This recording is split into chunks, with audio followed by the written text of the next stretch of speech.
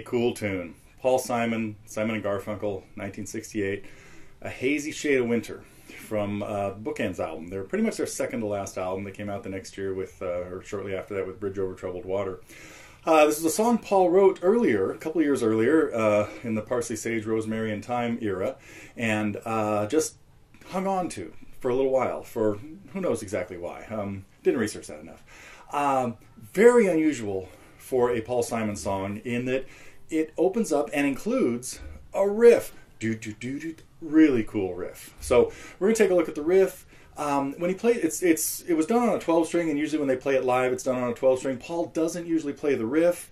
If uh, I mean, he does maybe the first time he kind of fumbles through it, and then he doesn't play it while they're singing or, or anything else. Uh, if he has a band, he's got you know a hotshot guitar player that'll do that for him.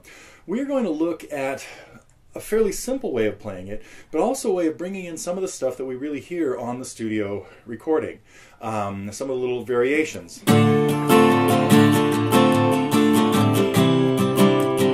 That, that kind of stuff. And working in the bass line that happens on one of the chords, only a few chords involved.